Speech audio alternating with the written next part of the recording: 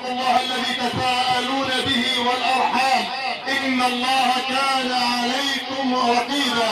يا أيها الذين آمنوا اتقوا الله وقولوا قولا سديدا. يصلح لكم أعمالكم ويغفر لكم ذنوبكم. ومن يطع الله ورسوله فقد فاز فوزا عظيما. أما بعد فإن أصدق الحديث كلام الله وخير الهدي هدي محمد صلى الله عليه وآله وسلم وشر الأمور محدثاتها وكل محدثة بدعة وكل بدعة ضلالة وكل ضلالة في النار. معاشر السادة الضيوف معاشر الجمع